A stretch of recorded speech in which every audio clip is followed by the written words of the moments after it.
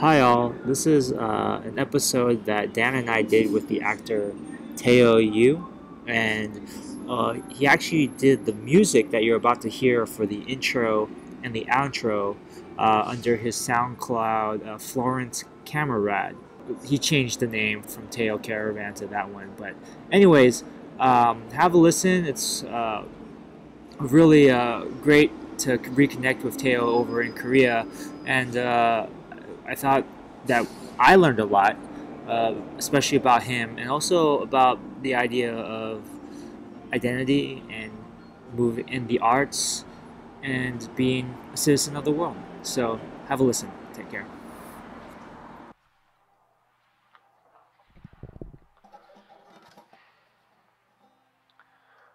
Cause I'm 66 years of age. Tonight, I'm coming down with a fever. I need some cold air on my face. Three tries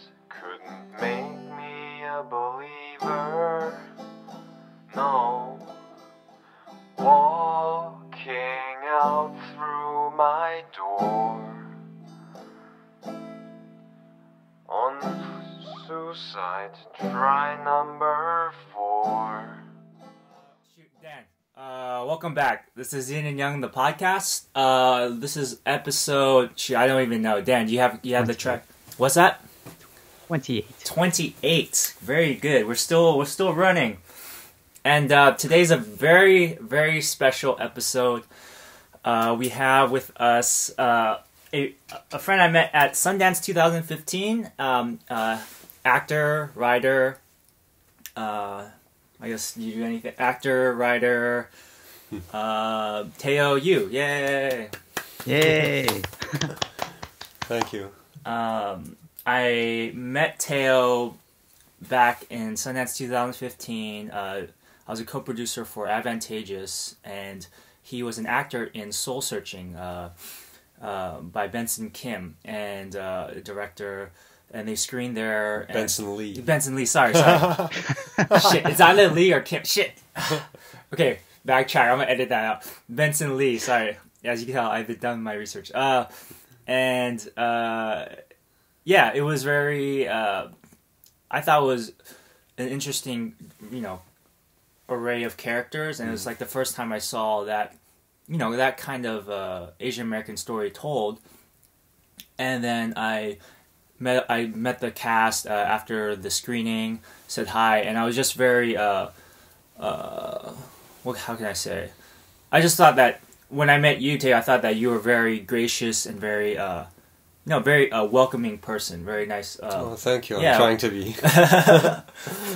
and um, I was just so I was like, so yeah, we uh, exchanged contact and we've been in touch, you know, on and off here and there. I've been following him on uh, Instagram and seeing all the cool things he's been doing. Um, so yeah, that's uh, my like connection here, and we're here in Seoul, which is kind of crazy. yeah, um, from like.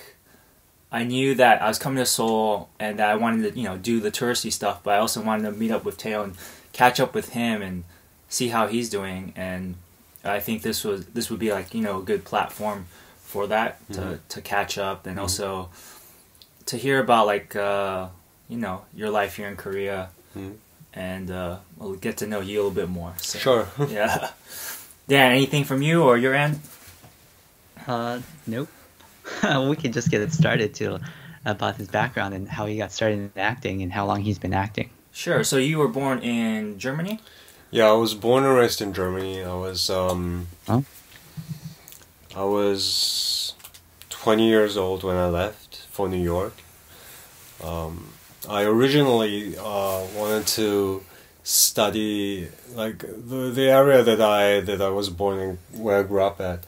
Uh, it's Cologne, and um, we have like a like a pretty famous um, physical education kind of college. You would say, yeah. So, um, so since it's so subject oriented, you don't need a high school, like a German high school uh, graduation diploma, which is kind of the equivalent of the university entrance exam.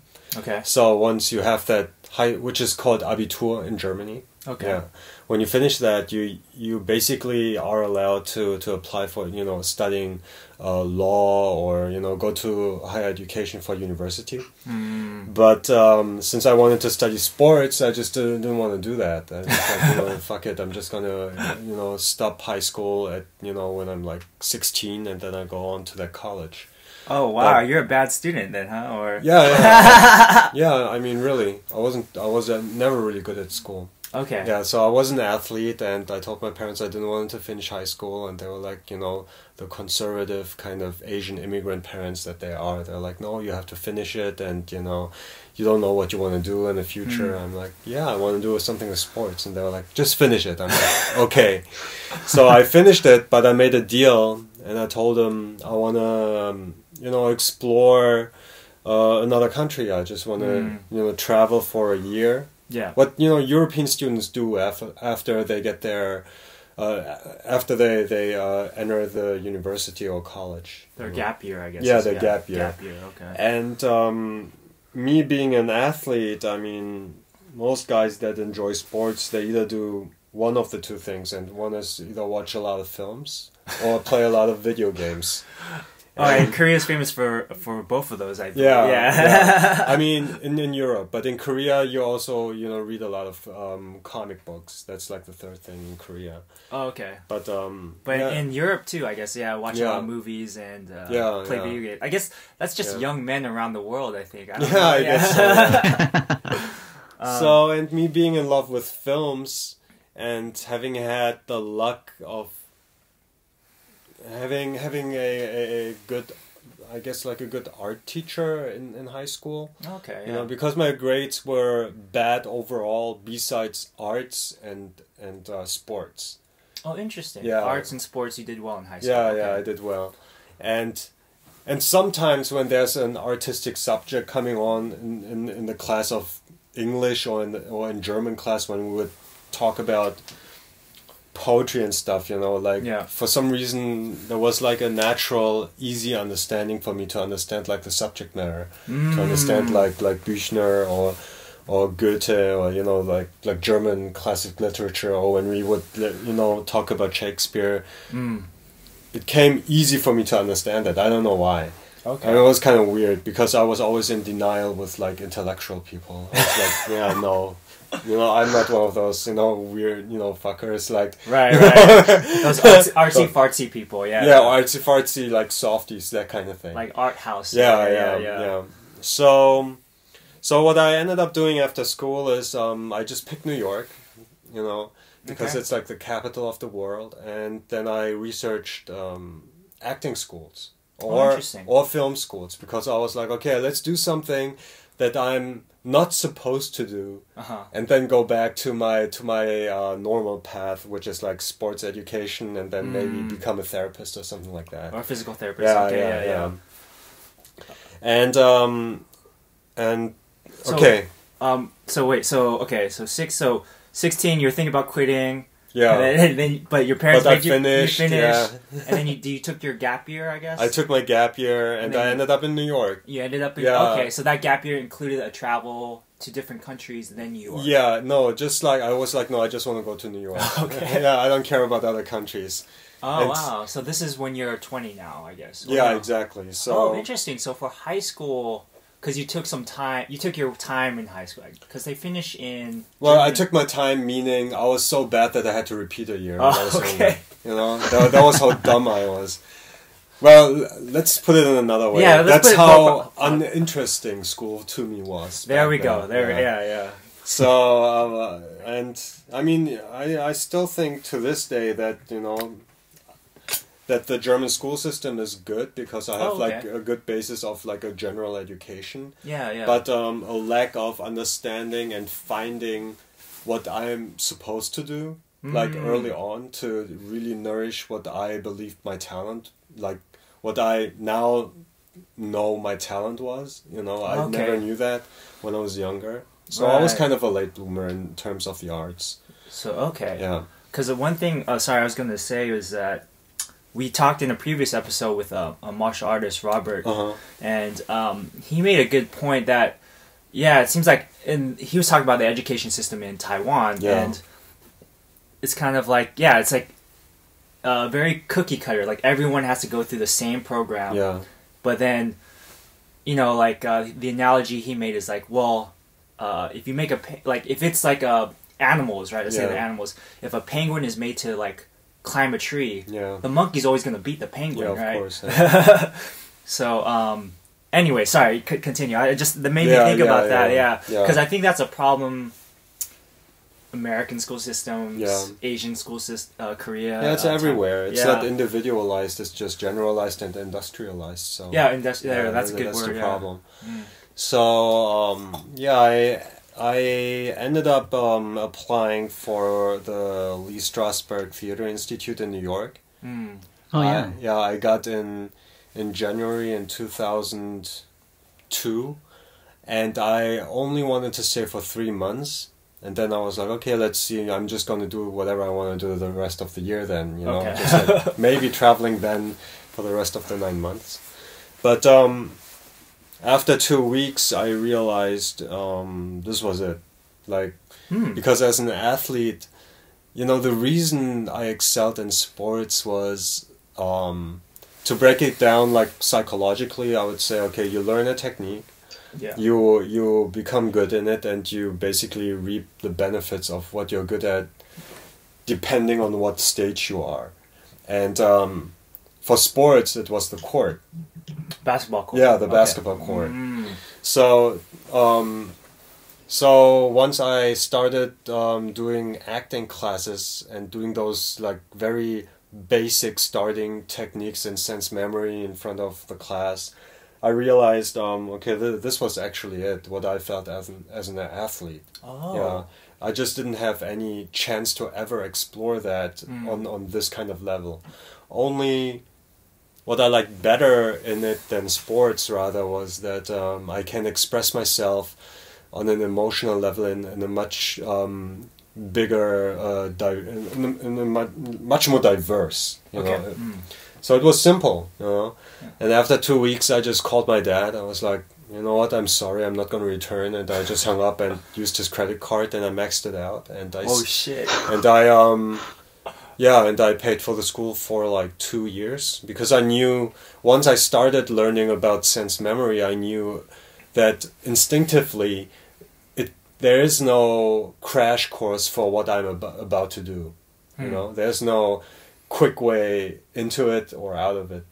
It's just like I have to I have to study this for at least 2 years to really get it, Yeah. to get the gist of it. So, Just briefly, Dan, do you know what sense memory is? Uh, your your wife might No. know it. Um, My wife, I'm sure. Probably it's a knows, but- acting. It's an acting technique where uh, you try to recreate certain senses based on um, a particular set of circumstances. So do you Uh-huh. want you want sorry you want to give it a quick example? No, just no, our no. You listeners? just, I mean, Yeah, yeah, you, big- yeah. yeah, You explain it like really like on point, actually. Yeah. So I mean, um, there, uh, there's a there's a book called No Acting Please, and uh, he talks about how one exercise is like, okay, you first take the apple, right? Yeah. So so eating eating involves all five senses, right? So you take the Yeah. apple, first visually touch it, look look at it, and then you bite into the apple, the taste, um, the the smell, all all these things, and then basically you try to recreate that whole experience of like looking at the apple to eating the apple and digesting the apple. So like. Um, just just for our listeners who don't know what sense memory is. but Yeah. anyways. Okay. Yeah. Continue. Yeah. so basically, it's like you're lying. You're you're lying to yourself until you believe uh, the the fake reality that you kind of created.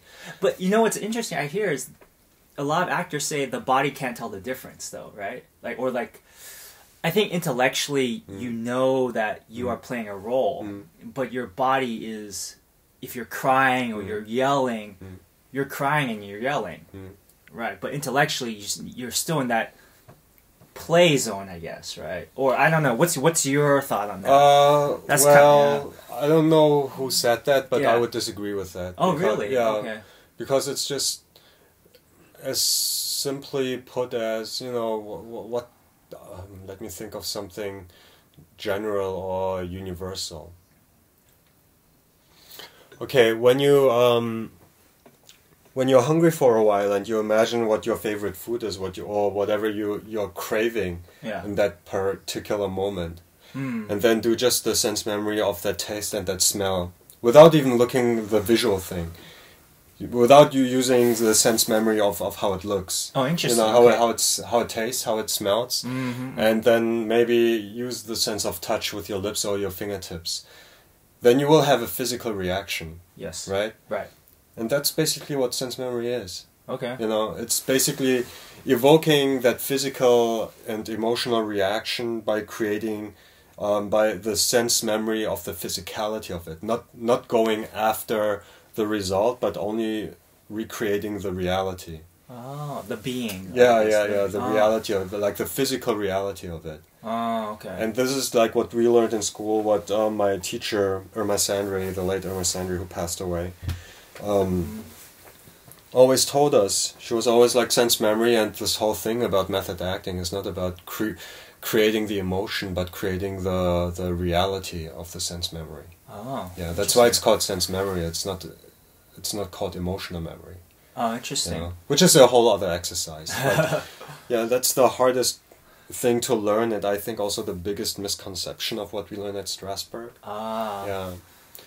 So just you know, learning um, how to physically recreate that. Yeah. So, so you got that. So you saw this, and it was like two weeks in. Yeah. So only two weeks of class, you're like, holy shit, this is this is for me. And then, yeah. um, so kind of, you maxed out your dad's credit card. So obviously, he's he's in uh, Germany at this time. Yeah. Exactly. They're they're still living in Germany. They're still living in Germany, and uh, I'm see he's seeing the bills. Yeah. Yeah. And so, uh, let me know if this is like so. How was your relationship with him at that time then, or Oh, uh, he didn't like it, of course. yeah, Yeah. yeah, yeah, I mean, who, who would like that? You know, who would yeah, like that? Dan. Dan has two kids. Like Yeah. Dan, you probably wouldn't like. Well, your kids are a little bit young, too young to use credit cards right now. But Yeah. um, uh, they're like four and two, right, Dan? Or Five and two, almost three. yeah. Yeah. So, um, but yeah, can you can you talk about that a little bit? But I wonder, you know, if you tell them something not to do, but they do it anyway, but in the end they are happy about it, would you rather see them happy doing what they want to do going against you, or would you like them to be unhappy and listen to you? Oh, good point, I think it's a, it's a case by case basis, right? Um, Yeah. If it's like they find their life's passion, their life's Yeah. goal, Yeah. you know, Yeah, the thing yeah. that they really want to do, then Yeah. obviously I want them happy. Yeah. But if they're like just eating another their chocolate, I'm flipping out. It's completely different, right? of course, yeah. yeah. right, or they're they're like, mm. yeah, okay, It's all context. I mean, just context. Yeah, Yeah, it's yeah. context, that's true. yeah, it's Yeah. it's like if they find their life's goal, I mean, they know what this is. You know, this is what they're going to do for the rest of their lives. Yeah. uh, you know, I might want them to be a doctor or a musician or something like that, and they, they go, you know what? No, I just want to be a painter, and if that makes them happy, then makes them Yeah. happy. Hmm. They Oh, ha- oh. but they have to own up to those choices, right? Yeah, of Because course, yeah. obviously, painters like they're not going to make that much money unless Yeah. unless they make it big like David Choe. right, or like they they get stock instead of uh, cash for a good, for a right? good company. and they yeah. gamble. And they, Yeah. oh well, that's yeah, gambling is a whole yeah. And, They gamble. Well, that's what David Choe did. He he gambled. He's like, I'm a gambling person. You know, he was addicted to gambling, so he goes, I'll take stock options. I don't care. yeah, yeah, yeah. um, so okay, so you're David in, Choe was Teo. what's by that? the way, Teo. Teo. Uh, I was just wondering if Teo knows who David Choe is. uh, no, I didn't. It's a Korean American artist. Uh, Oh, okay. Yeah. yeah, Uh, he what he did was he he painted the mural for Facebook, the hallway in the opening lobby or something like that. Mhm. And instead of paying them in cash or Mhm. paying him in cash, they go, "We'll give you stock options." So when Facebook went public, he was worth three hundred million dollars. Wow. yeah. Up until then, he was really dirt poor. Oh, I see. Well- Then he got arrested. Mhm. Well, he wasn't rich, but he was like just getting by. yeah, Anyways, yeah. And yeah, he almost got arrested in Japan. He got he did get arrested in He did. Japan. Yeah, yeah. Six months in jail. Yeah. Oh, I see. But uh, he always says that that's some of the best paintings he ever did in jail. Yeah, With soy- with soy sauce and, and shit. Yeah. Um, wait, wait, wasn't he also on a on a on a? I think on a, on a Vice video. Yeah, I think he's I've a- seen him on Vice. Yeah. He's very close with the Vice guys. Yeah, Yeah, yeah. yeah. He does a Yeah. thumbs up. Yeah, yeah. I do know about him. I Oh. forgot his name, but I do know about him. Yeah, Um, Anyway, yeah. So okay, um, yeah. Would, would so did your dad cut? Because he can cancel the credit card if he wanted to, right? Yeah, but I mean, I would find out one way or the other, and then I figured, you know, I would just do whatever it takes to stay there and live there and do whatever, you know, jobs, whatever, Mm. you know. Yeah. I So- know. I was like, yeah, support me until you can or want to support me, and you know, after that, we'll see where we stand. Wow. Yeah, And you are the oldest in your family, or yeah, okay? yeah. Only son, oldest. Uh, I have a younger sister. Uh, Yeah. So, I know, like, yeah, because you're the only son. So then, okay. Uh, do you feel any like? So, did they put a lot of like pressure on you to like carry the family name, or like? So you're here. You're do, you're in New York. Okay, so you're in New York now. Mhm. You're acting, Mhm. and um. So you now you're maxed out your dad's credit card. What kind of how what do you do to survive? I guess and Well, um, apparently he wanted to keep supporting me. oh wow Yeah, so I got lucky. Yeah. At least uh, until 2004. 2000 so okay it's 2000 years. okay two yeah, okay. two years. Yeah, so two and a half actually until the summer of 2004, because you could tell that I was that serious about it. oh good Yeah, I mean, I even used my food money to, and sometimes even my rent, which was really stupid because you know during my studies I was at some point like three months homeless. But anyway, I used all my money t- for the resources that I could get into my hands. Like I, it was like pre Netflix. Pre Netflix, not the online web stream Netflix, but the Netflix where they like sent you the D- DVDs, DVDs. at home. I still So, like yeah. yeah yeah yeah Anyway, so I bought uh, like like a shitload of. Can I curse? I'm sorry. yeah yeah you can totally fucking curse yeah like a shitload of Yeah. DVDs, and um, I went to watch plays. You know, I would like go to uh, was it Pace University like at at at seven in the morning to get in line for um, the Irresistible Rise of Arturo Ui to watch um, Al Pacino on stage Oh, wow. with one of the cancellation tickets for like ten bucks. You know. okay yeah And the those kind of things, yeah, the standby tickets, or you know, and I would make it a habit to watch at least two films before I go to sleep every day during those two years. So, which sums it up. uh, You know, I, I have like a fair good repertoire of, of a lot of films, Films, in my head. You know, it was all for acting. So, yeah, I sacrificed everything. I, Mm. I I went homeless at some point. At some point, I didn't have enough money for food, so I stole my food. what all that stuff, you know. But uh, whatever. I was I was young. I mean, it's it was like sixteen years ago, so okay yeah, fifteen years ago. wow Yeah, and um, anyway, um, two thousand four came around. I was at Strasberg for two and a half years. Um, in 2004, I took um, so the last six months at Strasberg, I took it um, part time uh-huh. And um, during the other time I, I could spend some money on, on taking acting classes in Meisner. So I took some private classes in Meisner. And um, with Ro- Ro- uh, Robert X. Modica I don't know for the people out there who are interested in that stuff. Shout out to Robert. Yeah, Robert X. Mo- Modica, who's um, uh, who was uh, what's the guy's name? Oh God, I mean the reason why I took the this teacher was um, oh my God, he was in the Big Lebowski, the Italian guy. Oh man, oh uh Stanley Tucci no, no no uh oh holy shit, well we can we name can go- another movie he's in. If you Uh, name another movie, I can do it. oh really Joe Pesci? No. no no no, um, De damn it. Well, Uh, I don't know. oh my I wasn't God. a big fan of. He was he was in a, in a few films of the Coen Brothers. you wait you don't like the Big Lebowski Dan Oh, John Turturro. Oh, John Turturro. Turturro, exactly. It has oh to be okay John Turturro. Yeah, John Turturro, exactly. Oh my God, thank you. Oh, shame on me, I forgot his name. it's all good Anyway, yeah. So because of John Turturro, um, I looked up his acting teacher, uh, who was um, Robert Modica. So some private classes with him, and then I looked up um, where Philip Seymour Hoffman came Oh. from, and then I stumbled upon Stella Adler. So I went to Stella Adler. Um, Stella Adler Studio of Acting in New York, and I took private um, part-time classes there, um, which for the Strasberg group is kind of like you know oh my god it's blasphemy Oh, Well- hard time, right? Yeah, yeah, yeah, So you cannot take like any other techniques because for them it's a doctrine and then it becomes like the, the gospel truth. Oh, Stella Adler. yeah, okay, yeah, yeah, for Strasberg, uh, for Strasbergians, I mean. Anyway, so oh, I for took. Strasberg. Yeah, Yeah, so I just wanted to get the whole gist of American techniques that are out there and that were famous at the time. And um, by the summer of 2004, I realized okay, I got enough of this emotional American stuff. so I need some classical training.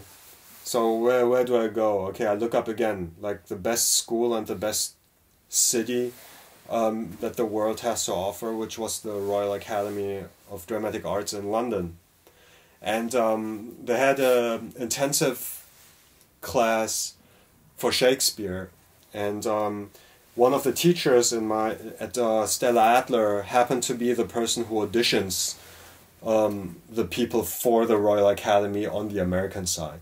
Oh, cool. So I asked him, okay, what what should I do? You know me as a student, and you know where I'm where I'm at. And he was like, you know, you should take this um, Shakespeare intensive class. And I was like, okay, I'm going to audition for it, but I'm not going to audition for you. I just want to do it on my own, fucker, you know, that kind of thing. Yeah, like yeah, I had yeah. a lot of pride. so I, I did a taped audition and I sent it in. And then a few weeks later, I found out that um, I was on their waiting list. Oh, you went out. Nice. Yeah, so when I when I got onto the waiting list, I made sure that I called the office every day from New York to London that they know that there's this crazy guy out here that wants to get into that class Wow. just in case someone cancels. So I called them every day. Um, I think it was uh, for London time around 10 a.m. So every day until I, until I got the letter and that I got accepted, and then I got accepted. Oh wow. So you had to wake up at seven a.m. Oh no, what time? I don't remember what Yeah. it No, was. it's at yeah. nighttime. Yeah, I Oh, called okay. It them. had to have been nighttime. I called them every day. Yeah. Wow. Cool. Okay. And then and then I got the letter that I got in, and then um, I spent the summer acting Shakespeare intensive at RADA, and then I went back to Germany after that after those two and a half years, and I and I started um, writing my own stuff, and um, you know, and I I spent about six months or nine months. I don't I, I can't remember exactly, but you know around not a full year though. I, I spent in Germany. I, I performed a play in Berlin, a one man show that I've written. Oh wow. Cool. Yeah, and then I went back to New York. Okay. Yeah.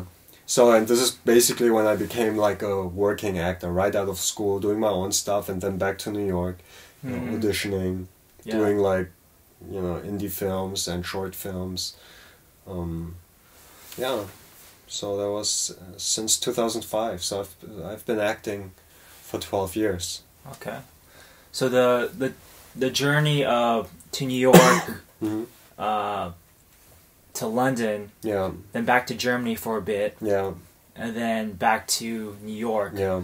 So that whole how long is that right there? I guess back to New. Uh, So when I was back in New York, it was I think. It was in the beginning of two thousand six. okay, so 2002 to 2006 is Yeah, that kind yeah. of journey. Yeah, Okay, Yeah, yeah. so that's kind of like your your college or your graduate school. Or Yeah, I guess so. I mean, yeah, yeah. yeah, can say that. I mean, back then when I went back to Germany after Shakespeare, I was so inspired that I started writing like poetry, and um, but it was also a time when I was um, diving into the history of stand-up comedy. So I, I, I, I um, yeah, American stand-up. So yes, I, yeah. I read a lot on Lenny Bruce and Richard Pryor. Richard Pryor. Yeah, Richard Pryor, Eddie Murphy, Whoopi Goldberg's um, Whoopi Goldberg on Broadway and back to Broadway. That was amazing. Mm.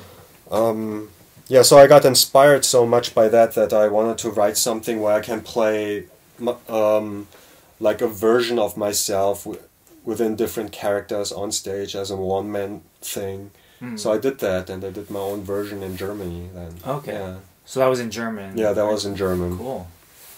Yeah, and um, then you I, still do that show once in a while, or not really? no, I did it just that one week. It was also like a very unique opportunity to, to do it anyway. Yeah. Yeah, it was um, uh, like a cultural kind of thing for for Asian for Asians, you know, to put like like an ensemble on, which um, involved arts, some some uh, graffiti, some acting, you Mm. know that kind of thing. Yeah. That's cool. Uh, I'm I'm a little curious about like Dan. Sorry, do you have any questions or? No, no, go right ahead. I was just I was curious about um, so growing up in Germany from so your parents are Korean immigrants to Germany, yeah. Yeah. And uh, so they are they from the north, uh, like Seoul area, or are they from like Busan area, or like uh, So uh, my father's side, uh, my grandparents, they both come from North Korea. oh wow, Um, and uh, my mother's side, uh, on my mother's side, my grandfather um, is from Jeju-do, which is like the southernmost island of Korea. okay, And my mother's side is, has also North Korean roots. Like my, my grandmother on my mother's side has also North Oh. Korean roots. So, okay, which is not very uncommon, you know, in that Right. generation, you know, because back then there was no South and North, North, Korea. yeah. they were just like from some from some northern area, you know. oh wow, but anyway, so um, yeah, and uh, my parents they immigrated to Germany. I think it was around 76, 1976, because back then in the 60s and the 70s, um, post-war Germany invited a lot of foreign, like cheap foreign guest workers, okay, yeah, and the same as U.S. Yeah, yeah, yeah. And the the bigger bunch were Turkish people and um, I think Turkish and um, uh, I can't remember what the other eth- ethnicity was, but Koreans were one of those. okay, Especially because Koreans, uh, Korean men were physically smaller, and they needed people who work in there uh, as blue collar workers in like Oh. mining facilities Oh, in the seventies. So um, yeah, my dad was one of those, and He the mother, yeah, he was a miner. And, Oh, wow. And, and my mother, all the all the Korean females, they they were nurses okay. because for some reason like Germany was short on nurses back then. Mm, Yeah, so they needed them. Um, yeah, and after mining closed down and they didn't need like that many nurses anymore, you know, um, all my friends' parents and my parents, you know, they they just settled down and they opened up like Korean restaurants or fast food restaurants or delis or you know whatnot, like similar Nice. to what like parallels to what you see what happened in the United States okay. only the cultural movement wasn't as free but more something out of necessity Mm, yeah not out To of survive. like yeah not out of you know free will and you know and an american dream but more about you know surviving and because it's tough in korea and the government had this deal with germany or whatever the korean government Mm. yeah So then, so you grew up. So you're you and your sister grew up um, in that. So in that environment, like, did you guys have to? So your dad was a miner nurse, and then did you also have to help out the shop when he opened up the restaurant or the shops, or no? Uh, yeah, I helped when I was after I became twelve years old. I think like, yeah, for a solid three four years, I helped my father a lot in his restaurant. Oh, okay. Yeah, That seems to be a trend, uh, especially for Asian uh, immigrants, like in uh, around the world. I guess they have to help the parents, and then um, yeah, yeah, yeah. Of course. yeah. that- yeah. Now, did you? Um, okay. Did you pay your dad back, or? Oh, if I pay, no, I never paid him back. oh wow. Yeah. Uh, is there any sense of sorry? This is my personal. Is there Yeah. any sense coming from such a working class background? Yeah. because my, my parents are also working class. My dad Yeah. was an engineer. My dad was a little bit more um, intellectual side. He had a degree, so he's part of the, the brain drain of Yeah, Taiwan yeah. during the Cold War. Yeah. Um, and my but my mom worked in the post office, and my dad was laid off after they didn't you know contract work was over for defense. Um, so my mom worked in the post office, and Mhm. I know for me growing up as you know doing you know producing, writing, directing, there is a sense of. Uh, it's taken me years to kind of like peel it back, but sense of guilt, Yeah. like oh, I get to pursue my dreams, Yeah. sure, Yeah. and my parents did not. Yeah. Um, do you do you ever feel that or Uh, no, I never felt that. Oh, And, interesting. um, Okay. I was thinking about that too, um, in comparison to how Koreans Koreans are and how Korean Americans are. Okay. Because German Koreans or Ger- people who immigrants or people who grew up in, in the European environment um, have a have a sense no don't have a sense of privilege Oh, But- okay. you know, were because they grew up in that privileged environment. So what I'm saying is, Germany has a very um, well knit social system, a social support system. So if you're homeless, you get a home from the from the state, from the Oh. country. If you're if you don't work, you get money um, from the state until you find work. Of course, they give you a deadline, but they calculate ca- calculate a deadline for you um, depending on your education, how long it'll take you, considering the current market situation and economy, how long it'll take you until you get a job, and the, the state takes care of you. Oh, so the taxpayers' money actually goes back to the people, which gives you the luxury of um, always feeling secure, of always feeling safe, right? In, wh- in whatever industry you choose. in whatever you, you choose in Germany. Yeah. So since I never had to worry about money, I Mm. never had the issue of um, thinking about how I'm I going to take care of my parents, you know, or, Okay. how, or how am I going to pay them back. And on top of that, my um, financial education um, that came from my parents was very poor because they didn't know how to handle money and how to talk about it. Uh, So my sense right now at this moment is not that of guilt and then maybe I have to pay him back but just I have to pay him back because I don't you know I feel like I feel grateful Shit, yeah, grateful. Yeah. just you know very just simple it's just as simple as that I mean it took me a long time to get come to that conclusion Mm. because before that before maybe three four years back I didn't have the sense of I, I owe him something you know Ah, yeah yeah. it's like they put me onto this world they better take care of this shit you know It's true though. Yeah. It's true as a parent Yeah. that I feel that way. Yeah. Wait, And- so, yeah. s- wait, Dan, can you articulate what you what you feel? uh, I mean, it's exactly what Teo just said. I mean, I, it was my my choice to bring my kids into the world, so I have to like make sure that they're set up for success. Hmm. I'm not gonna view them as like my social welfare. they're not my social security. It's, uh, It's- some, it's- some parents do that, which is unfortunate. But yeah, yeah. Yeah, this is where the Asian immigration thing comes in because it correlates with um, having more children for financial security in their elderly age, you know, Yes, yeah. you know that kind of thing. But in Germany, we don't have that as much. So um, That's a cool system, though. Yeah, yeah.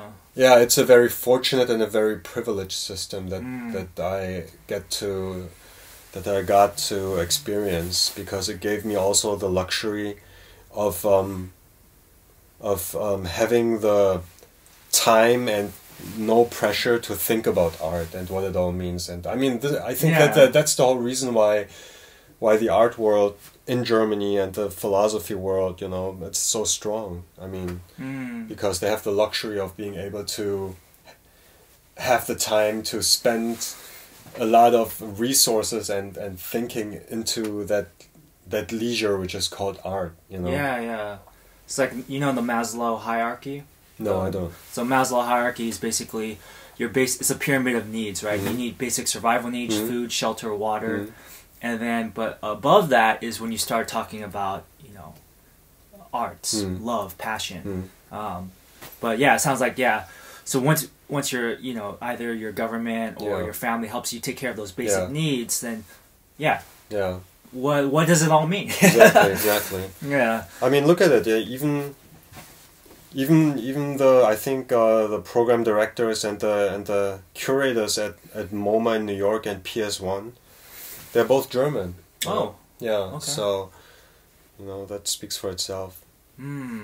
But I may be just pulling something Yeah. out of. I don't know. German. Are you a. German national still? no, I'm Korean. Oh what? But I mean, like your passport and everything. Yeah, I'm fully Korean. Oh, Oh.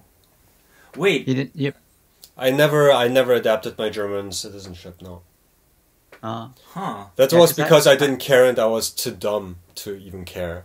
To get to Ah. tell you the the honest truth, because when I was 18, Um, Uh-huh. In Germany, they give you um, the choice of becoming Korean or German citizen if your parents Uh-huh. didn't just make you a German citizen, and um, by birth. And uh, my parents wanted to give me that choice, but I was just too dumb to care. Yeah Huh. because you know I wasn't aware of social issues or you know of my opportunities. I just did whatever I want, and um, and just later then in my life when I decided to come to Korea, um, I had to be faced with that issue because I would have to give up my, not my citizenship but my permanent residency, for German for for Germany. Oh, so you have permanent residency? Yeah, okay, you yeah, have yeah, that yeah. thing. Okay. Yeah, I Yeah, that's interesting because my cousins are they were all three of them were born in Germany in Hamburg, Yeah, and I think they still have dual citizenship, yeah. Yeah. from U.S. and Germany or U.S. and Germany. oh, okay. Yeah. Yeah. Because I. So, but then growing up in Germany, like, did you and your sister face any racism or any identity issues uh, growing up there? Um, 'Cause you- I, I sounds like- cannot talk for my sister because we are nine years apart. So she grew up in the nineties. okay. I grew up in the eighties, and I definitely had race race issues. oh, damn. Yeah. Um, I mean, eighties Germany was when Germany was still split into um, east and west Right. Yeah. Before the wall came down, and right around the time when the wall came down in 88, 89, Yeah, we had a lot of East German skinheads. We had um, Ah, a lot fuck. of um, like uh, neo Nazis. Um, a lot of gangs, um, Turkish gangs going going against Germans and German gangs going against everyone. Um, yeah, so um, yeah, it was it was a time when yeah you were I was kind of on the edge, on my toes, looking around. I mean, it all became better after '95, but before Mhm. that, it was yeah. What happened in '95 that made it change? Um, I guess uh, Was it the euro? education and, and awareness general. No, the euro came in after 2000, after 99, I Oh. think it was, yeah. but, um, Hmm. Or was it maybe even. I can't really remember. It's so, so, such a long time ago now. But, um, yeah, for some reason after 95 it became better. I mean, maybe it was just me coming out of puberty. Mm.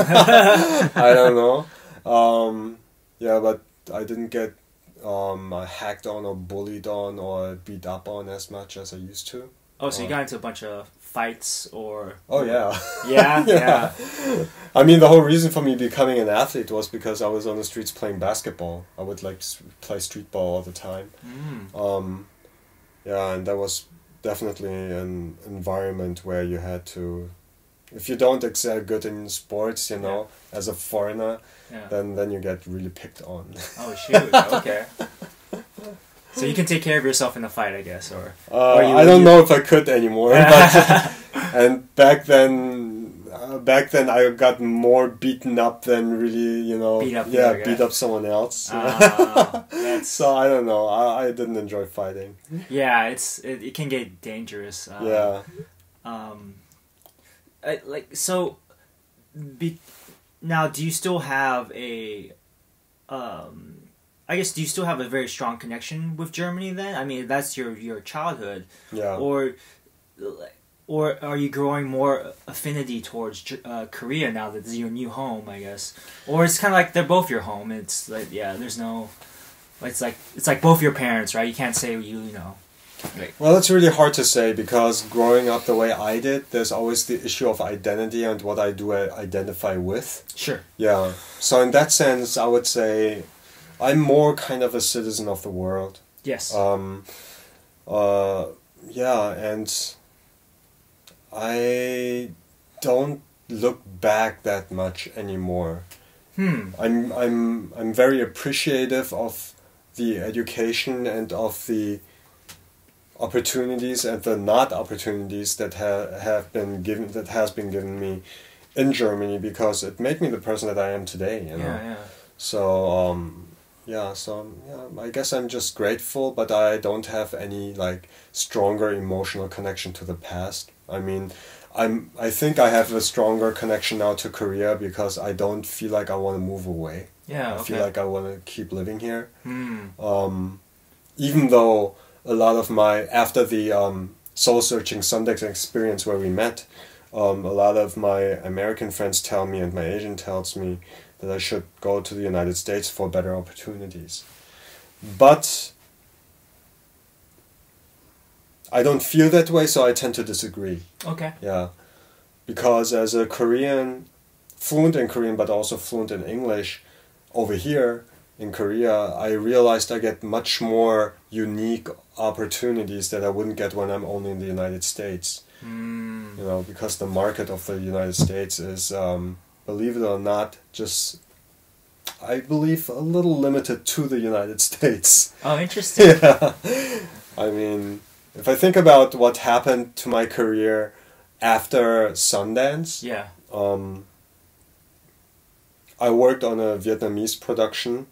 The Bitcoin heist, right? Yeah, Or- Bitcoin heist Yeah. with with uh, a local production company with locals. That's cool.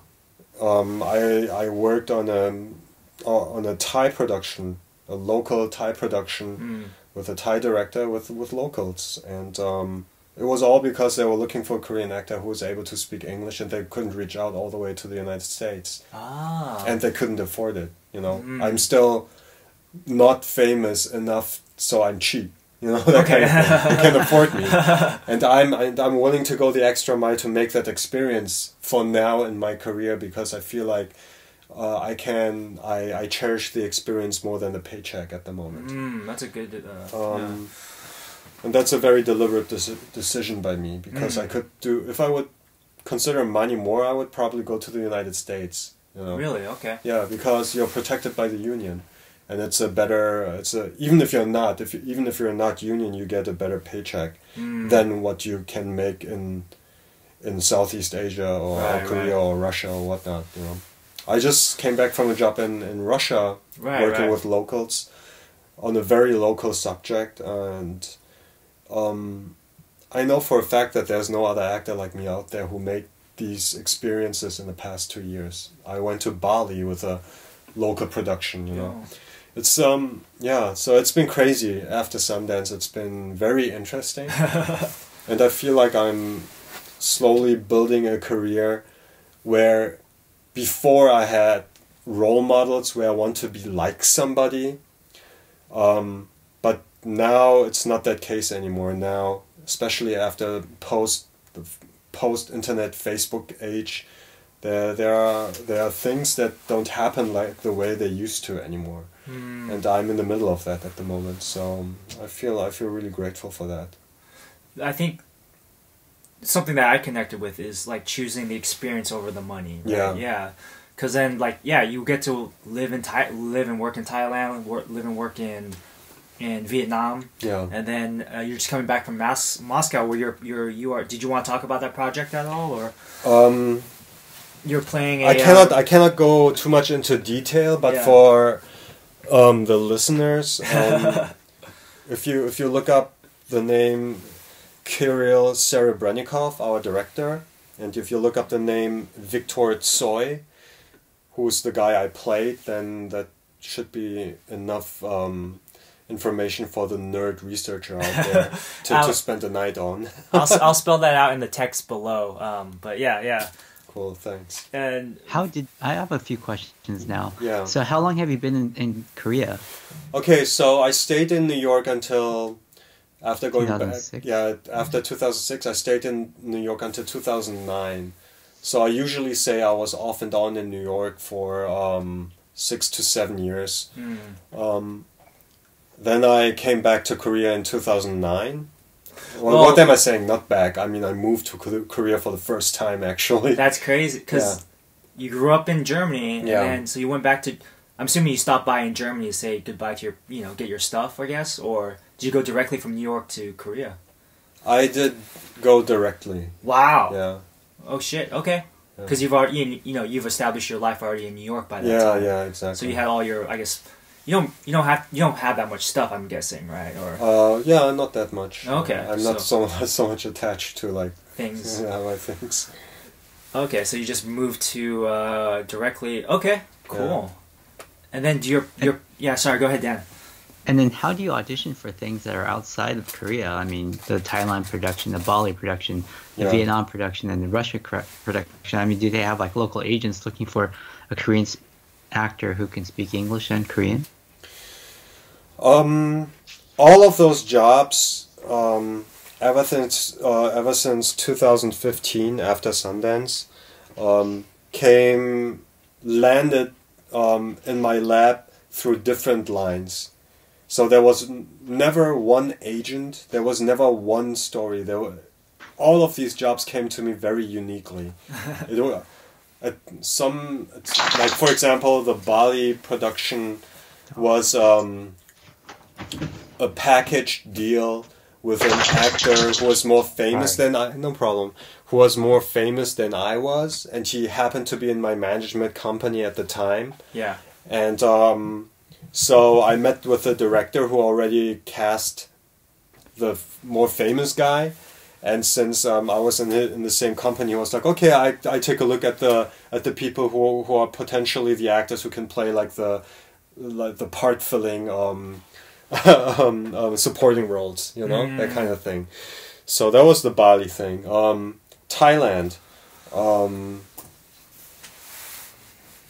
a friend of mine recommended me to to his ex girlfriend, and the ex girlfriend was contacted by an agent in, in Thailand. So the Thai person, to, to backtrack, the Thai person, the, the, the Thai agent Yeah. contacted a girl in Korea.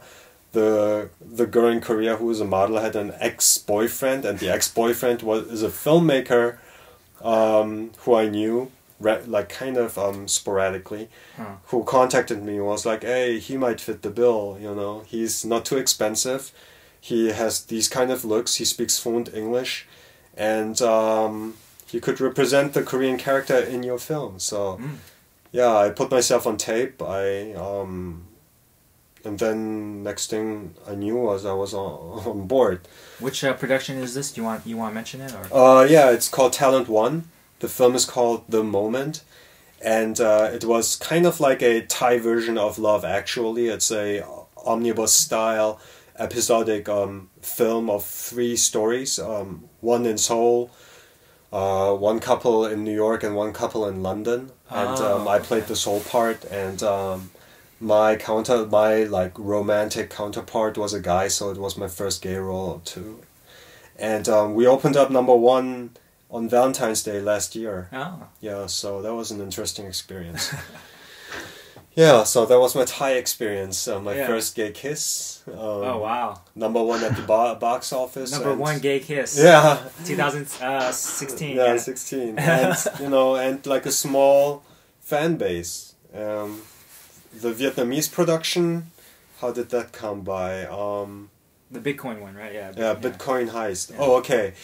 I remember now. The the film Seoul Searching, which uh, played at Sundance, uh, 2015, played Benson Lee, Yeah, not Benson Kim. Lee. Benson Lee. played at um, CAAMFest, and at CAAMFest, the producer saw me and the director saw me, and then um, from what I heard is they had someone else in mind who was older, but he couldn't do it, so I was next in line. They contacted me. I got on board, and um, yeah, it's You're The- like a main role in that too, because like on the poster, you're like the the biggest head in the poster. I think.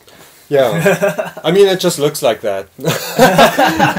I mean, I'm on, I'm an honest straight shooter, you know. Yeah, yeah, yeah. As you might have realized by now, but um, yeah, I'm a solid supporting role. Oh, I'm like okay.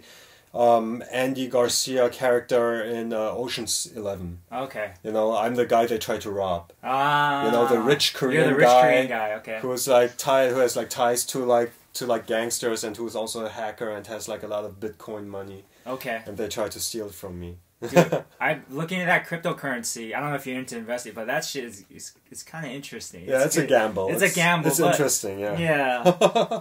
um. Go, I. You know what? One thing that uh, you brought up. Um, watching all these films. Yeah. What about your own? So you've been working with all these different directors. Yeah. What about your own personal artistic vision or tastes? Yeah. Like what were what are some of the I know I have some key films from you that when I saw in high school, like, whoa, I didn't know you could do that. That's great. Like uh, Edward Yang with EE or uh, Hou Hsiao-hsien with um, Dust in the Wind, Mhm. um, Taiwanese filmmakers. Um, What were some of the films that really spoke to you when you started, uh, when you were doing those those formative artistic years? Um, I would say three filmmakers were um, the ones that really influenced me. Um, in my purity in Germany, it was Wong Kar Wai because I didn't know Mm. that there was someone who could use the the the grammar of film to convey melancholy so well, Yeah. and I and I didn't feel as alone anymore in, in Europe as I as I used to. Um, then during my New York years, I would say uh, Michael Haneke, who did um, The White Ribbon, Amour, and um, also what was the other film? Uh, Caché. I don't know the the English title. okay. Um, yeah, Michael Haneke is definitely one of the big ones. And now, just like recently, I would say, um, I would say uh, Tsai Ming Liang. Oh. Yeah, Tsai Ming Liang is, is really someone who influenced me. Also Ang Lee, both Mm. Thai Taiwanese. Um, right? Is Ang Lee Uh, Taiwanese? Ang Lee is Taiwanese. He's he grew up in uh, I think Pingdong or Taidong. Yeah. yeah, yeah, he is. Uh, right, but yeah. Tsai Ming Liang is Malaysian, but his career is in Taiwan. Right, Yeah, he's yeah. Malaysian and his career is in Taiwan, and that was also one of the reasons because I think one to go to come back to your question is one thing that really was um, food for my soul, emotional food for my soul yeah. was um, the feeling of displacement and therefore being always very melancholic Oh. and a day with melancholia melancholia used to be like a good day because it tend to be like very depressive in my life Wow. yeah but i fought that off very well by now and um, so yeah so melancholy because of that displacement and because of having no sense of identity and not knowing where to go and where where where i'm from um, used to be like a big struggle and a big kind of search for who i am as a Oh. person and um, yeah all those filmmakers deal with that kind of thing and Yeah. especially in the later days now Tsai Ming Liang but um, also researching about Tsai Ming Liang and then thinking about um, your background the Taiwanese background Yeah. you know they I feel like the cultural DNA of Taiwanese people has it naturally embedded in them to understand melancholy more than other Asian cultures because of their displacement from post-war China Mm. and how they fled over to Taiwan Yeah. and um, having a sense of wanting to return back but having to adapt the island as their new home Yeah. Yeah. you know so I found that always very very beautiful also Edward Yang of course he's Yeah. also one of those but um, yeah Simon Yang um, and recently I would say I would say the director that I just worked with, Kirill Serebrennikov. I mean, Mm. he hit me like really strongly, like figuratively, like yeah, above my head. he physically yeah. did not hit you, but he, Yeah, thing you mentioned about displacement, yeah, I guess that Taiwanese identity. It's interesting because there is that group that came from from China. and There's Mm. also the group that is in Taiwan Yeah. as well, and it's just like this interaction of identity. And I I also feel that in America, I, I it's a different circumstance, of course, Yeah. but like Taiwanese or American. And um, now here in Korea, like they ex- they accept you as Korean, or um, I mean, how was it adjusting? I guess we can talk about that that transition period. well, um. Oh, that's that's a loaded question. but to give you a, but to give you a simple answer, no, they don't accept me as Korean. Oh, But wow. then again, um, wherever I am, the uh, the local people will never accept me as one of their own. Like the Germans will never accept me as a, like a German. The people in the states will never accept me as a like United States citizen, and that's okay. I mean, it puts me on a very unique edge. Yeah, I'm okay yeah. with that. And in Korea, it's the same thing. So, um, so in terms of that, another way of answering that question is, um, I can make everyone accept me as Teo yeah, yeah, you know? So i'm just i'm just me i don't know like there's no nationality type of stigma attached to me. That's how i Mm. feel now. Like i'm just a citizen of the world. And yeah, yeah, that's how I that's how I feel. Yeah, I mean Bruce Lee. He mentioned they asked him, "Oh, are you Chinese or like what?" And he's like, "I'm a human being, right?" Yeah. Yeah. Yeah, Yeah. Because he was born in San Francisco, and you yeah. know. Um, Dan, did you, did you have anything to add or? And I think it, it's a very common feeling probably for like Asian Americans as well, because I grew up in the '80s, you know, in in San Diego, which was very white, and then the only other Asians that were around were like Vietnamese immigrants, our first generation, who barely spoke English. yeah. So Th- then how how old are you, if you don't mind me asking? I'm 44. Forty four. Okay. You wow. You look Yeah. much younger. I was like, Asian. I thought surprised. because you were you were saying you know you grew, grew up in the eighties in San Diego. I was like, wait, are we the same age? You know. Yeah, I'm older. Yeah. yeah. Because Because you're in mid thirties now, Teo. Or you I'm I'm thirty six. Oh, okay, okay. Yeah. I'm I'm the youngest here, thirty three. So yeah. Mhm. And sorry, Dan, what, what, what were you gonna say? Oh no, it's just I think it's a very similar kind of feeling Mhm. because in the '80s in San Diego it was very very white. Mhm. Uh, so you- you're definitely. If I, I went back to China Mhm. in '84 to go visit, and we stuck out like a sore thumb, me and my cousins, because we dressed differently. Everyone could see us. Mhm. Yeah. You know, we walk down the street and they go, "Oh yeah, those people are not Chinese. They Mhm. might look kind of like Chinese, Yeah. but they're not." Yeah. I, I I don't know if this is the same for you, Teo. Like I speak Chinese, I speak uh, Mandarin with a very thick American accent. Yeah. I mean, that's something you probably have to unlearn, right? To to be able to act in Korea. In Korea. Yeah. Yeah. Yeah. Yeah. I mean, I'm still. I'm I'm not really struggling with it anymore. Oh, I cool. used to because I had I had a thick accent too, but I work I'm working I'm still working on um I'm getting speech classes Oh, every cool. every week. And um yeah, but by now people don't recognize uh, my accent anymore. Like I don't Ah. have one anymore. Okay. Yeah, they they realize that I- I'm not from Korea via the content and my thought and my attitude, you know, Ah. and not by my Ah. speech. right. Yeah. But when they see you, they they can't tell. Yeah, they can't. They can't. Okay, your style now seems fairly Korean, I guess, or is this? Korean No, it's style? not. No, this is. I don't know if this is Korean or not. This is just me. This know? is you. Yeah, this is just me. And um, but um, like, and of course, you know, I dress for the occasion, occasion, or for the character when I go to a meeting or audition, Yeah. so they can't tell. But um, um, yeah, if I talk to people, they just say that that I'm very unique. So Oh. you know, that's that's good enough. That's fair enough. Yeah, I think. I guess I could work.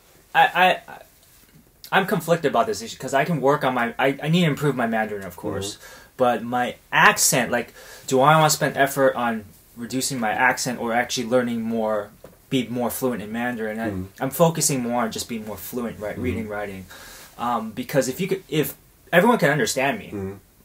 For the most yeah everyone can understand me. They just can tell i have a thick accent so whatever you know. So you know people in america have different accents in Yeah, different parts yeah, of the states and no one says they're less american or Yeah. whatever. Um, They do Oh, these days. uh, they do. Okay whatever. Oh, okay. screw that. Um But yeah I, go I ahead do have a question. yeah. So the, the the productions that you ha- did in like Thailand and Bali Uh-huh. and uh, Korea, or not Korea, but Russia, Yeah. were they in English? Did you have to, or were, did you like? I mean, you were a Korean Um, character. They were like, always different. Um, for the production in Bali, I had to speak Korean. For Vietnam and Thailand, I spoke um, English. And for the one in Russia, I spoke Russian. I had to learn and memorize everything in Russian. wow Oh, shit. because you play a a russian national like a rock a, well he's like a russian icon Victor Tsoi? yeah, victor he is, Tsoi, yeah. So I played, okay, for a little bit background information about that guy. Um, he passed away in 1990 in a very dubious uh, car accident. People think it was um, something else, Mm. so called something else. And um, the reason for that is um, his rock music. He started in 81 with his first album, and he had his last album out right before he died, working on his next album. Um, his music influenced um, the Russian people so much so that they still to this day credit him for being one of the influences why the former Soviet Union came down. oh wow Oh. So um, his music is is kind of like revolutionary. It screams freedom and um, and um, freedom of art, freedom of um, of of uh, oppression and Mm. um, changes, and um, yeah, even to this day, when people go go out on the streets and demonstrate, they sing his songs. Wow. Victor Tsoi. He He's is a Korean father, Russian uh, mother, mother. yeah, yeah.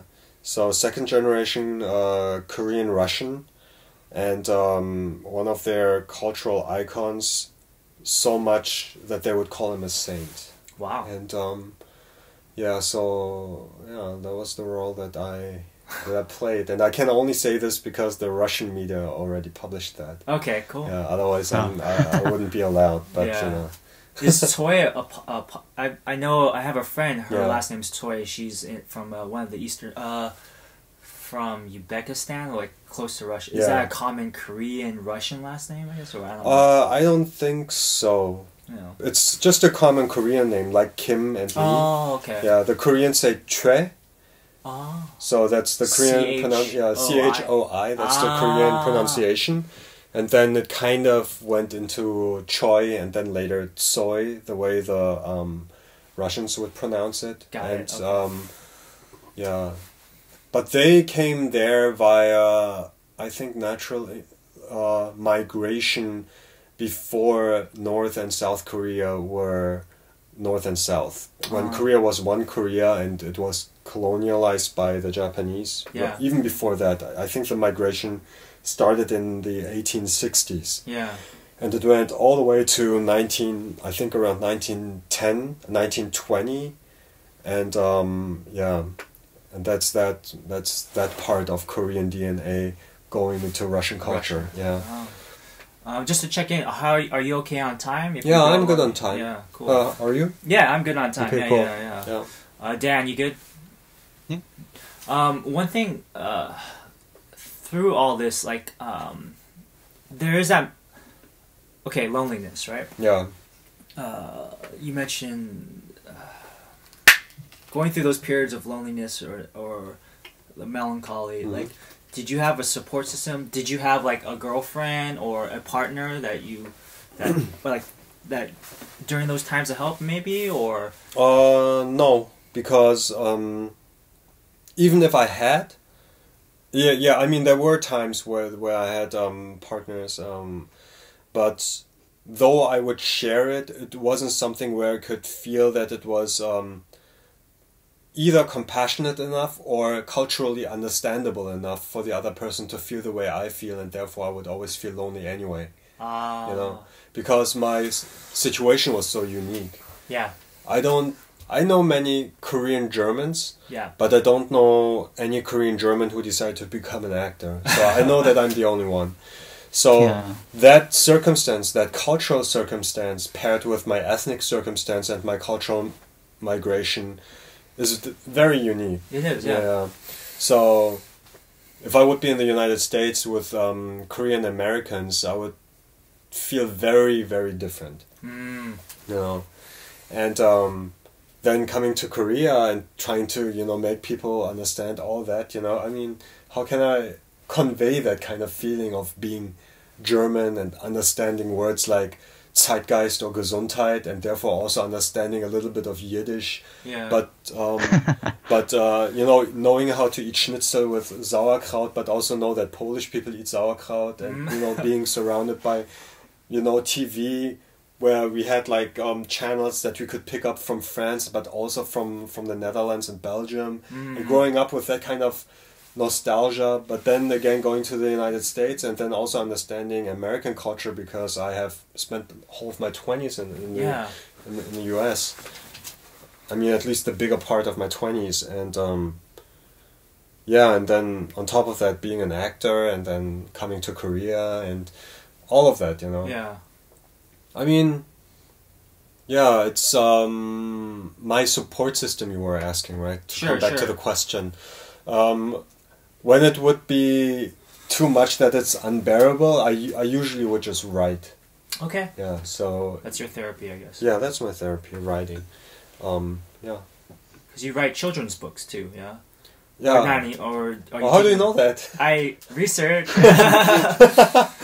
Um, yeah, I'm a published children's book writer in Korea. Yeah. Oh, cool. Um, it started after uh, after Rada when uh, I I learned about the the techniques of how Shakespeare wrote his sonnets, and then I decided to write something not in um, pentameter but in septameter, if that makes any sense. So I wouldn't So make. instead of ten syllables, you're doing I would do fourteen. Oh, yeah. gosh, So I okay. would like something like in Korean, in Hangul, in, in no in English. in English. Okay, okay. So I just started practicing that, and then would go into also pentameter and um, see how that rhyme structure would um, affect storytelling in terms of pace, because if you set up a story with um, with uh, seven syllables and then break into five syllables, it becomes much faster pace, right? Hmm.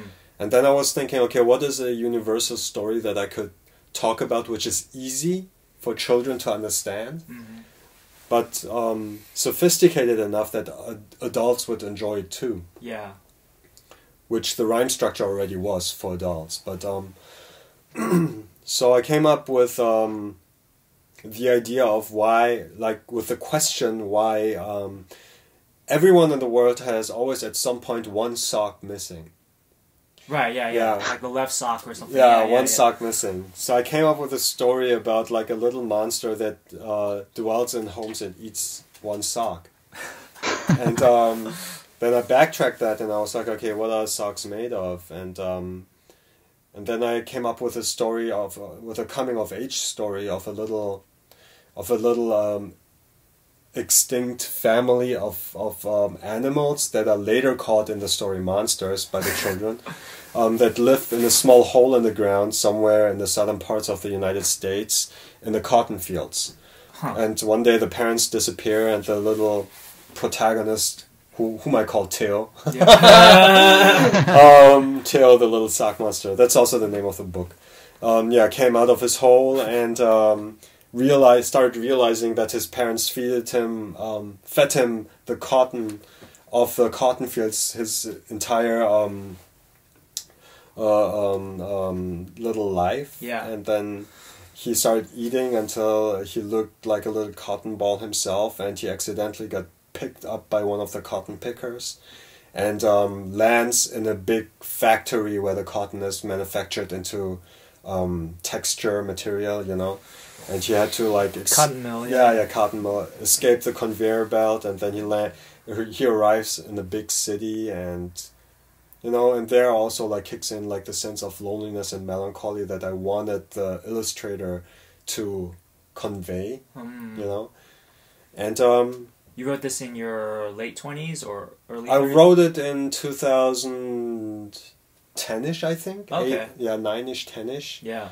and um, yeah, and then he arrives in the city, and then how he you know survives, and how he becomes an adult, and how he lives like in a laundromat, and he like eats eats like the like always like one sock, and then the other he sleeps, and you know that kind of thing. Right. So it's So- autobiographical. autobiographical. Yeah, yeah, like yeah, the yeah. sense, the sensibility, the emotional sensibility of it was something that I tried to put in there. Also because I always hate the fact that children's books nowadays are tend to be always educational, and I hate Ah. that because um, I grew up on a lot of audiobooks in the 80s in Germany. What what Germans love are audiobooks. Oh, cool! I love audiobooks. Yeah. Yeah, yeah. But um, I used to listen to them as um, records. Oh. Yeah, so I would listen to Brother Grimm's stories, Mm. and they're not the um, the cookie cutter candy version of what um, Disney does with them. Oh, it's the originals. yeah, the originals. Oh, they're wow, really those- dark They're and super dark. yeah, they're super dark and you know and but there is a sense of uh, learning the emotion of something which is weird or which is melancholic and lonely. I mean, even like Hans Christian Andersen's um, the girl, the matchstick girl. It's a super dark, sad story, Mm. but there's some kind of beauty in it that you take away. You know, learning it when you're a child, mm-hmm. because you know you, you listen to that story like an old grandma's voice is, is telling you that story via like this recorder Yeah. before you go to sleep, and you're like, oh, you know, and you fall asleep Yeah. and you wake up and you kind of forget about it, but you know, but maybe you know there was some stories that you know that were so scary that I would cry, but then the next Yeah. day you would be like, okay, that was interesting. Yeah. So I felt like you know in my story I wanted to convey that feeling of loneliness and melancholy, which was very important for me, and yeah. Mm, So uh, yeah, writing. I mean, that's your therapy. yeah. Right now I'm writing music and and and um, treatments for for future scripts. So, Oh, great. Yeah. So I'm What- I'm graduating. You're gra- what kind of um, music do you are you writing? Like rock music, pop music, or like uh, instrumental, or Well, I would say if you if you wanna put it into a category, I would say the closest would be world music okay. because um, I try to use cheap instruments and record them and mix them up in my laptop by myself. Yeah. Um, for anyone who's interested out there, if you look up the word Teo Caravan with a K, you can find um, a few of my songs, all like early samples on, on SoundCloud. Oh, nice. Um, Check it out. but Teo um, Caravan with a K. it's very amateur level right now. Right now, I'm back from playing this guy Victor Tsoi, and there's like enough reverberance left that I wanna start writing a whole album. Oh wow. So so I'm on my second song right now, and then but it's all in Korean this time. okay. Yeah, the Teo Caravan stuff was like in English, but now I'm all in Korean. Yeah, but the, I only do that on the side, you know. Yeah, just- yeah. That's your. yeah, and the reason why I do it in Korean is also because um, I, at the same time I want to ex- I want to practice my, my my way of Korean expression. Oh, yeah, okay. you know. Yeah, so it it's it serves like two purposes. Going back to your characters, hmm um, are you? Is it easy for you to shake off your character? Like, I guess getting into the character takes a lot of research and a lot of work. Yeah, Um, now, and you live in that space for however long the production is. I Yeah, assume. yeah. Yeah. Now, do you? Is it hard going back to like, oh, Teo, citizen of the world, Teo, you? Yeah. Is is that is that a easy transition for you, or is it kind of hard, like moving in and out of productions? Uh, for me, it's always hard.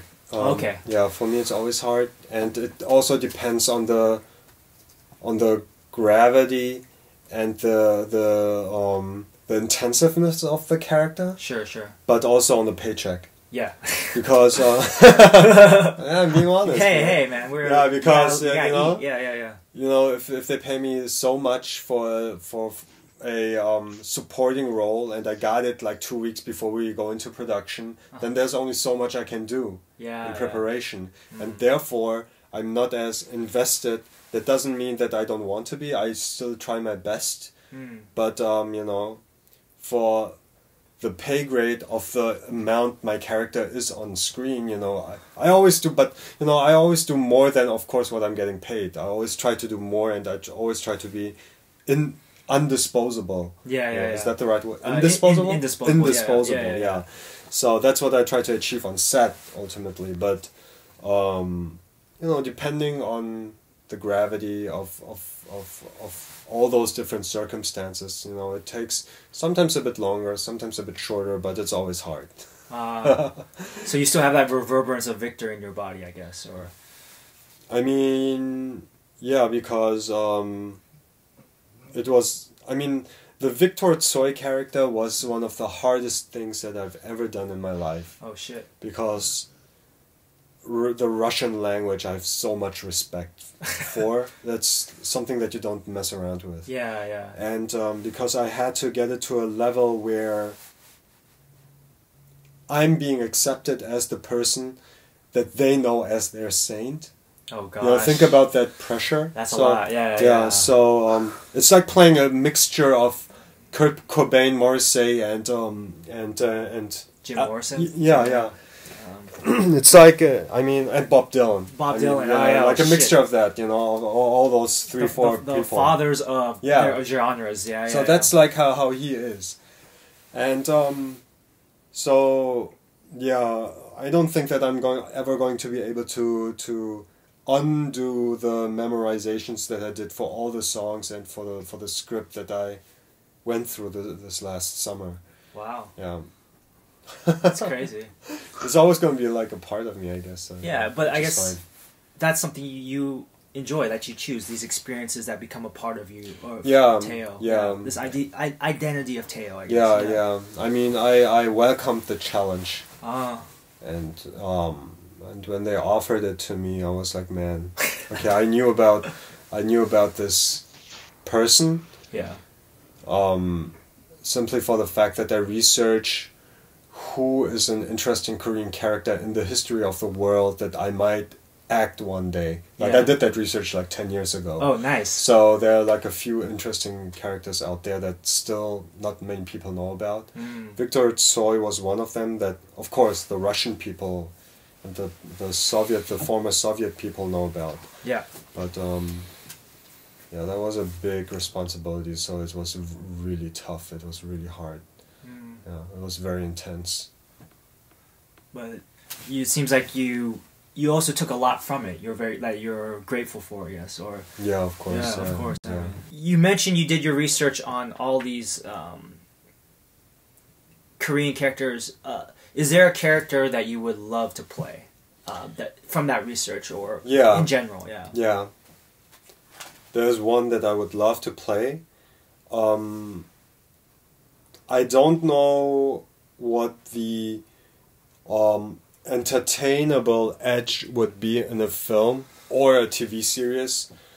Um, so there's this one Korean. His name is his name on the internet is Antonio Correa, Corea with a C, Antonio Correa, and um, I stumbled upon him via a Rubens painting, the Dutch painter Ruben. He he painted a Korean guy back in the day in the 1600s. And nobody knows how this Korean guy got there or Rubens over here. so this is where you get to think, okay, how did he how did this famous Dutch painter painted a Korean guy and called it the Korean man, the painting? Huh. You know? So um, during the research I found out that um, I don't remember if it was um, the 17th or the 18th century, but anyway.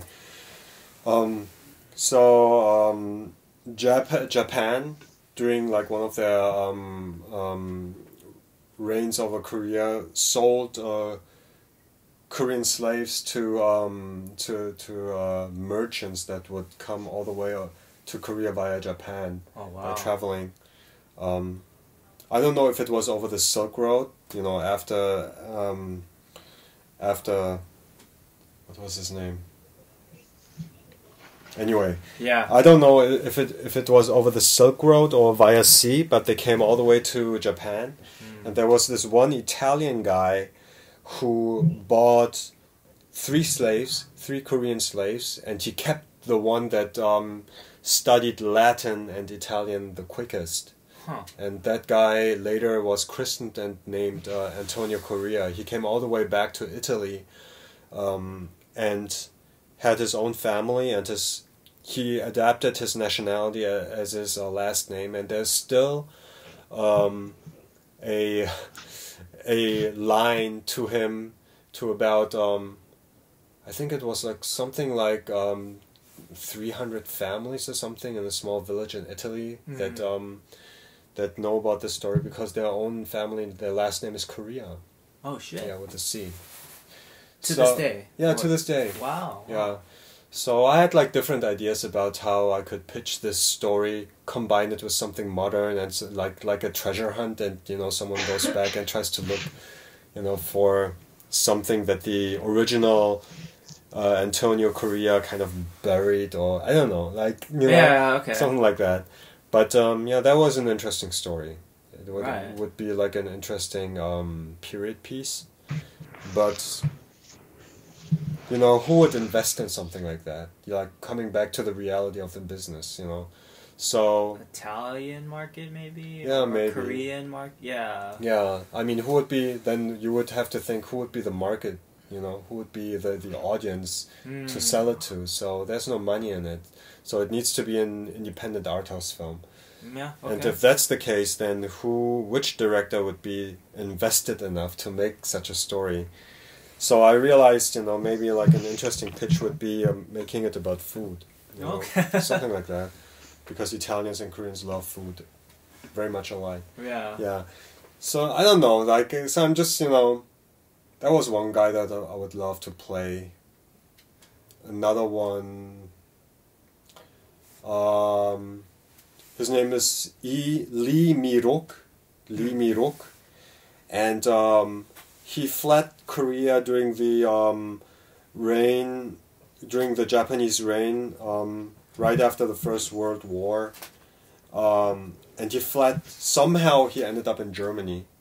Oh, okay. Yeah. You're, The reason why he had to fl- flee, why he flew the country Korea was because he was a, a resistance fighter against the Japanese. hmm. And what he ended up doing in Germany is he was a resi- resistance fighter against the Nazis too. so he kind of became famous in a small village in, in that locality of the Germans. He's still buried there in Germany um, because he wrote um, about his independence from Japan in German for Mm. the for the Jewish people and the Germans who were not Nazis but bystanders to Hmm. read. So that's how he protested, and um, yeah, he was one of the guys who, who was very interesting too, like an intellectual Korean who was a revolutionary, I guess, at the time. Have you thought about writing and directing, or just writing and acting? Um, yeah, I mean, the reasons why I also started writing treatments is is um, I'm investing in stories that I want to uh, create myself as a filmmaker in the future. Yeah. Um, directing, yes, um, but acting first. Okay. Yeah, and um, because I did it in theater, I wrote for myself. I acted myself. Yeah, yeah. So who can better tell that emotional that story than I do? Right. So, yeah, but I'm reserving my that that part of my life for my forties because I would like to have uh, enough weight as an actor, or have my name be a platform for investors to to to pitch a story to get investment. Okay. Yeah. know? So that's my goal. So I'm working on my career. So I better be fucking successful as an actor. yeah. Sounds like you're doing interesting work. I mean, your homeboy, um, Justin Chon. Shout out to Justin. yeah. He did uh, Gook. Have you seen that yet, or? Uh, yes, I've seen the rough cut, but oh, I I the rough um, cut, Okay. But I haven't seen it in, in the theaters yet. I want to. I like he was like, yeah, I don't watch it. I'm like, yeah, I know. I'm not gonna. I'm gonna want to wait. I want to watch it in the theater with an audience. You Oh, know, really? That kind of thing. Yeah. Oh wow. Okay. Yeah. Uh, it's um, not to spoil it, but yeah, it's good. It's it's it's very well received. I think, especially not just Asian American community, but Yeah. community at large, Yeah. because uh, kind of like these sub histories, right? Yeah. This is a very recent history. This is in his li- our lifetimes, right? Yeah. Yeah. Yeah. But no one's really told about the Korean LA riots. I mean, the LA riots from a Korean perspective, which Yeah. is kind of ridiculous because Yeah. they were probably one of the most, if not the most affected Yeah. by the riots. Yeah. They got looted and all that. So, Yeah. um, I mean, yeah. So I, I thought that was interesting. So, but I what I saw thought was interesting is like, damn, he's writing, directing, and acting in it. Yeah. That's, um, I don't know. Dan, Dan and I have had this conversation. Like, that's a lot of duties to take on. Yeah. Um, but you're saying that that might be something maybe in your 40s that you might take on. Um. Well, it depends. Well- we'll see what we well, I there. put yeah. well, well. The reason why I would say um, in my forties is because that's the like kind of like my imaginary timeline where I'm famous enough to do it. Sure, sure, yeah. If I become famous earlier than that, then I would do it earlier. okay. So, um, but I'm gonna do it eventually. Wow. So, yeah, That's your game plan or your, Yeah. your goal. Yeah. yeah. So I'm writing it also for the for the protagonist for me to be in it as the pro- protagonist, um, where I don't have to have like a certain age line to be cast in. So it's Ah. a very um, universal story. I mean, it's not easy to invest to research in something like that, but you know, I'm I'm on a good way. I mean, I'm very confident in my stories. So Dan, Dan, sorry, I've been taking over for a bit. Uh, do you have anything to add or? No, no, it's just uh, I'm I'm missing every other word. I think. oh, that sucks. sucks. Um, well, we can wrap it up uh, here. Let me let me let's Yeah. do a, a edit here. Hey, you want to just do audio then? It may be best. All right, let's just do audio.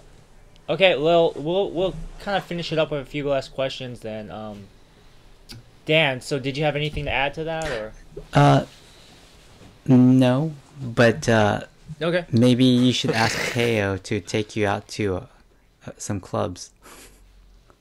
Oh my gosh! That's Uh, fun. I went to, I've done uh, one yet- in Korea, so you should go. Okay. Um. Okay. Maybe. Maybe. Yeah. Okay, and we're back. Sorry for the technical difficulties. Um. But one thing I was gonna ask. Um. Okay. Yeah. Dan. Good. Good point. Um. I do wanna. I'll do a whole like Korea Taiwan episode when I get back. I guess. Well, I'll talk about my experiences. Yeah. I did. I did go to like a bar last night. I tried to, you know, talk to some ladies. Um. It was tough, but. um. But uh. Uh, one thing I was gonna okay, you you mentioned one thing I kind of wrap it up was uh, a little bit about. I think a lot of artists or a lot of um, a lot of people uh, Uh-huh. deal with um, feelings of displacement, loneliness, or Yeah. melancholy. Yeah. Um, so, what are some of the tools that? Because that's something we do talk about a little bit on Mhm. this on this podcast is about mental health a little bit. Like, Mhm. what do you do? I guess what are some of the tools you do to stay centered and stay focused on, like, stay? I guess being present and being happy in the moment. Like, what what are some of the tools that you found? I guess you mentioned writing. Yeah. Yeah, writing is one of the things. Um, I think um, lately uh, it is. In a classical sense, I would say it would be meditation, Oh. but um, um, but that's something that I've lately stumbled upon by reading about Eckhart Tolle. I don't know if you heard about that guy. Um, Sounds familiar. so he's like a spiritual spiritual leader, writer, philosopher also. Um, and I stumbled upon him via the craziness of uh, Jim Carrey's interviews lately. And, yeah, his yeah. interviews are great. Yeah. so yeah. I wanted to know what that is all coming from, and then you know I, I found about I found out about this German-born. Um, he lived part of his youth in, in in in Spain, then later in Britain, and then went over to Canada and the United States. Um, so he's a writer, and yeah, basically he's much about spirituality and how to live in the present moment Hmm. and um, yeah that helped me a lot you know because to paraphrase his words he's saying he he was um, in a in a time of his life when he when he was very depressed he was saying you know I can't live I can't live with myself anymore and he wanted to commit suicide Yeah. but um, there was a moment where he thought about okay, this grammatical structure of saying I can't live with myself anymore. So where's the uh, who's the I and who's myself? Hmm. So he basically separated the two in the sentence structure. So, I can't live with myself anymore, and um, basically to give it in a nutshell, from the way I perceive him, is um, he was saying that the history of our language is about sixty thousand years old. human language. Yeah, the Okay. history of human language, which means the history of compart- compartmentalizing thought is also only as old as that, maybe even younger. Yeah. You know? And um, so before that, we lived with very basic um, intuitive needs and intuitive action, right? Yeah, we yeah like an so, animal. Yeah, like an animal, Yeah. exactly. We want to eat, fuck, Yeah, sleep. exactly, Yeah, yeah, yeah. yeah. So um, basically, what he's saying is that um, our thoughts are not our identity, but our thoughts are the structures of the language and the social surroundings that the language created. Okay. So we we are not supposed to mistake our negative thoughts for our being, for who we are. You know, and um, that what we feel negatively, what we think about, you know, about the traumas of our past, about the worries about our future, you know, our emotion emotional life comes from that process of thought hmm. you know rather than really being present in the moment without all those worries. So that that, that rang a bell with me that, that kind of struck a chord with me. So it helped me a lot being very balanced and centered because based on that you know it's it's easier to be just present if you don't if you untrain yourself to worry about the traumas of the past to worry about what happens in the future you know just worry about thought in general So- worry about thought in okay. yeah worry about thought in general, cause uh, I guess. So if there's anything, sorry, yeah, that's yeah. a lot to process worry about now. thought. I'm trying to look at the sentence structure there. So Yeah. like worry. So thought, thought as the actual. That that actually um, having those negative thoughts yeah um, is something you should worry about having. I guess is like or or just let it just let it be or like just let those thoughts be. But but kind of disassociate that with your idea of who you are or yourself like oh oh shit i fucked up um, i'm a terrible person so that's Yeah, maybe yeah. a certain pattern right yeah yeah yeah so then you're saying if instead of worrying about are you really a terrible person, more about worry about that thought of thinking you are a terrible person. maybe. yeah Okay, interesting. Yeah, I mean, and to come back to your question also, like, um, where do I find find that balance in that loneliness? I mean, uh, yeah, I, I don't know. I um, ever since I'm more present, I don't feel as lonely anymore, because loneliness is also only a construct that I made for myself, because I feel like other people don't understand me, so with that comes a lot of fear and a lot of worry. But if I don't worry about that, I can just express myself honestly and directly and sincerely. Mm. So, um, without being worried about if the other person understands me or not. You know? Okay. So, and I feel like the worry itself makes the other person not understand me as clearly, clear, clearly as um, in opposition when I don't worry about it and I just express myself, maybe the person understands me better. You know? Right. Instead of worrying about Yeah. the outcome. Exactly, Right, instead yeah. of worrying about the outcome, which is also, I guess, kind of Bruce Lee's philosophy. Right. Yeah. Yeah. So, th- which is not easy because we are so trained into thinking a certain way. you Yeah. know? Yeah. But um, I'm in a good place right now. You think? Yeah. Good. Dan, did you have anything to add to that, or? Dan, are you there? Dan said goodbye. I'm Dan. here, but I, I'm again. I'm missing like every other word. Oh, okay. man. Oh man. Um. Well, let's go ahead. Let's wrap it up with. Uh. Do you have any last questions? Uh, no. Yeah, I think that that I think it's a good place to end. I mean, um, I always do feel it's, especially as artists or creators, it's very easy to seek validation from an audience, from a if you're an actor, from a, the director or producers, and say, oh hey, am I am I good enough, right? Uh, but I think what you mentioned is kind of that idea of being okay with yourself first instead of worrying about what other people think about you. Is, Yeah. is that paraphrasing or is that is that safe to say or I mean, you should still be respectful to other people and you know, but I think what you mentioned is like first expressing yourself honestly uh, and truthfully and, you know, not caring too much about uh, what other people think, I guess.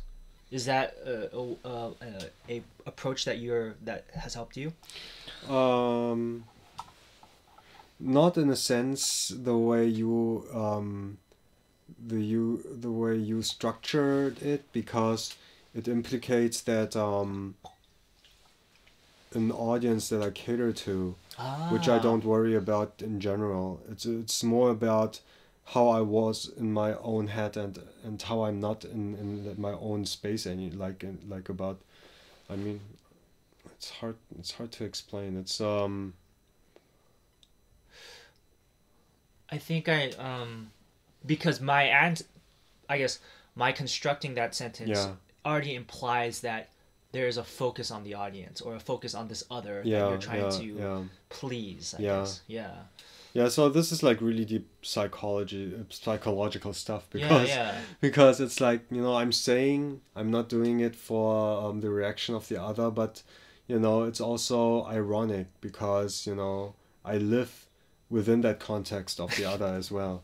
So, um, but but to come back to your question, um, yeah, it's just being about um, being myself, I guess. You know, being just being myself and being honest with myself. That's that's I think the most important thing. Just being honest with myself, to myself, um, about myself, which is not always very easy, but Right. you know. yeah. That's what I'm trying to. str- Yeah, I think we're all trying to strive for. So, Yeah. Yeah. Um. Okay. So the last section we do is something called uh language corner. Yay! Okay. Language corner. Hey. Yeah, where we share a uh, phrase from uh, a language that we know or are studying. Uh, let's see. Uh, Dan, did you have any uh, phrase prepared today, No. or anything that you've been thinking about? No. Because uh, okay, well, I guess um, uh, this is a very important phrase. Uh, probably, if not the most important phrase. Um, uh, 厕所在哪里? Right. So that's Mandarin. 厕所在哪里 is where's the bathroom, right? So, so in in in Taiwanese, which I spoke a little bit when I was a kid, and I forgot. Uh, the dia- uh, the dialect would be, uh, 边 uh, 变奏的变奏的 doughy, 变奏的 doughy. So totally different. Mm. Yeah. So 厕所在哪里?厕所 is bathroom. 在 is the um, location verb. 在哪里 where. 厕所在哪里变瘦的豆饮. And in, correct me if I'm saying this correct. Mm so I learned this in Korea while I've been traveling here. Is a kwajangshil odaeo. Oh, that's pretty good. oh yeah. yeah. Yes. Yay. Kwajangshil. I I've been practicing that a lot because. Uh, I drink a lot of water and I gotta go pee, so I, I learned that quickly, I guess. Mm-hmm. so that's my phrase of today is uh, where is the bathroom in the uh, Mandarin, 扁瘦的 doughy, uh, Taiwanese and 과장실 어디에요? It's uh, Korean, yeah. So, yeah. um, Dan or uh, Teo, did you have anything? Or? I continue that sentence into German. Wo ist die Toilette? Where's the letter? And then I'm going to continue that sentence into Russian. Где toilet? Where's the toilet? Okay. Is, and is it the same? It, uh, I'm curious for those languages. Is it? Are they saying where's the toilet or where's the bathroom or like? 'Cause- Um, I think toilet is more universal. Yeah, we're using Ah. toilet. We have a slang in German where we say Klo. Wo ist das Klo? Where's the closet or? No, it's it means Toi- where where's the toilet? Yeah, Ah, cool. yeah. Bathroom. Bathroom is a very American thing to it's say. It's a very yeah. yeah. yeah Or washroom is very British, I think. Yeah, I or- guess so. yeah. Dan, yeah. You, Yeah. do you have anything? In Japanese, it would be uh, like um like like everything else is toilet wa doko desu ka? Toilet. Toilet is like a take on toilet. Yeah. Right. I guess bathroom, restroom, washroom. This is very. I guess, I don't know. It's very. Uh, maybe Western thing. I don't know. I I'd have to look at the etymology, but yeah, toilet seems more universal, like you mentioned. so okay, there we go. We uh, where is the toilet in in many languages? And go ahead, go out and use that in the world. Um, Teo, thank you so much for your time Thank today. you. Yeah, thank it's- you. it was Thank you for having me. Sorry for the technical Thanks. difficulties. Cool. All right. Yeah, that's all right. Cool. All right, Dan. So I'll see you when I get back to the states, and uh, so we're gonna do a little sign off. So um, this is James, aka Dan, Young, aka signing Young, off. Signing off. And Teo, aka Teo, signing off. Cheers. Thank Thank, you you so very much for listening. Bye. Go clubbing.